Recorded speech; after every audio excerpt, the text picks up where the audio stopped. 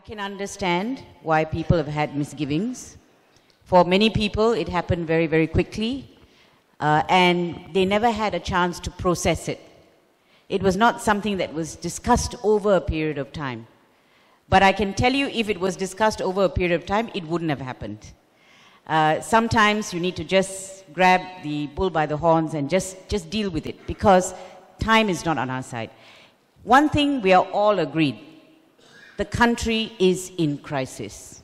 I go around uh, shopping malls or wherever I go outside, I have so many people coming up to me and saying, can, What can we do? They're in despair, actually. Malaysians are in utter despair because we have a leadership who doesn't care what we think. We've tried four rallies, as Maria said. 500,000 turned up for Bersih. We tried, uh, you know, to push people to put forward a motion of no confidence. The speaker never allows it to go to the floor. We've tried every means possible to do something about the present situation. It has not worked.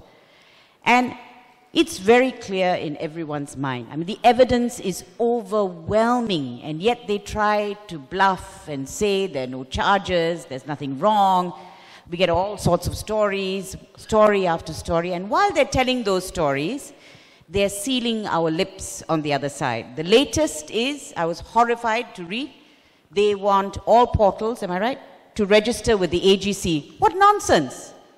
But they're doing this while we are saying, look, you know, we are, this has to stop. We're still saying that. So something more drastic has to happen.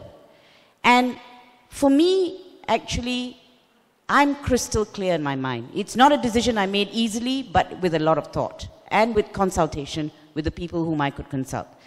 But very clear in my mind this is the time to put aside differences. It's not a time to play up differences. This is the time to put aside differences for a higher cause, the cause of our nation. The nation calls. And I said to myself, if YB Lim Kit Siang can put aside his differences, Anwar Ibrahim can put aside his differences, Hisham Maria's husband was under ISA.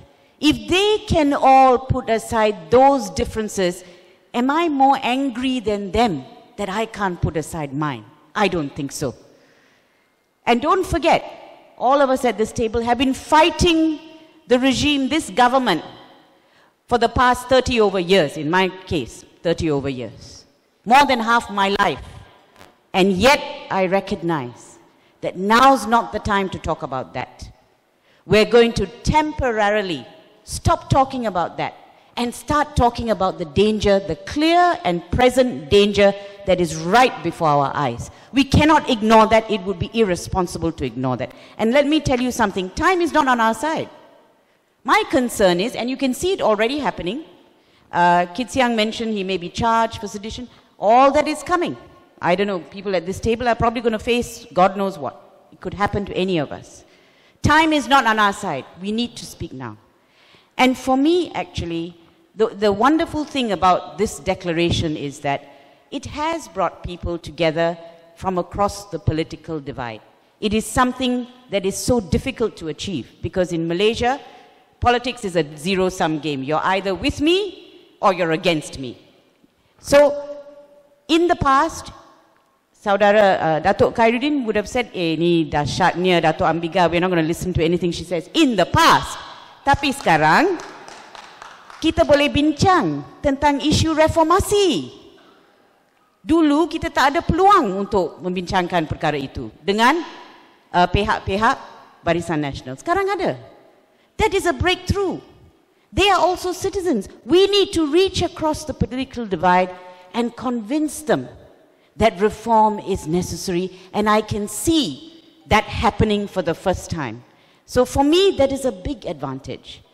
And, you know, this is about being on a ship, all right, where the captain, where two groups of people hate each other, but the captain is steering the ship towards the iceberg. Are those two groups going to continue fighting? No. That's stupid because the ship will sink. And that is my concern. That's the kind of crisis that we're facing. That's the kind of crisis we need to be talking about day after day. We must never forget that that is our goal to save the nation, as Kit Siang says. And let me give you another analogy. It's like, uh, I mean, for me, Najib has to go. All legal means. We're saying all legal means. The best is if he will resign. We've tried that, it hasn't happened. So there are other legal means that can be employed. But it needs the force of people, power, to make that happen.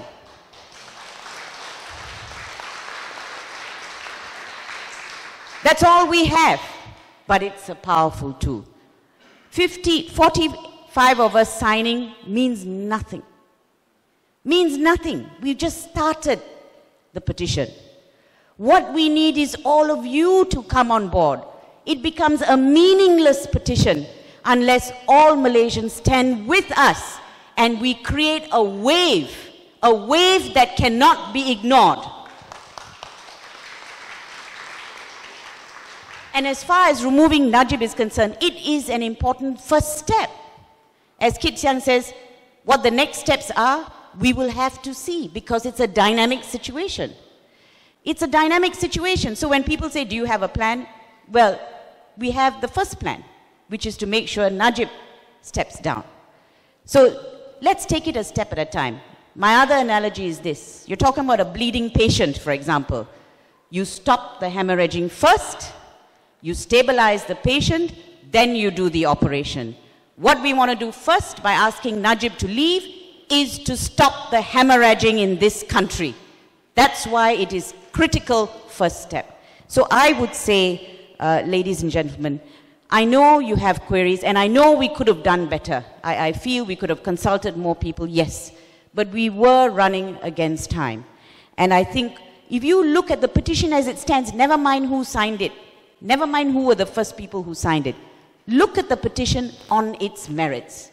Is there anything there that you don't agree with? No. There's nothing there that is objectionable. In fact, some of Bersih's demands for him to stand down and uh, institutional reform is there. It is safe for you to sign that petition. And we need you. We can't do this without you. We will have failed if we have not got your support. So I would urge you to find it in yourselves, no matter what you feel inside. Please find it in yourselves to stand with us and create the wave that we need. Thank you.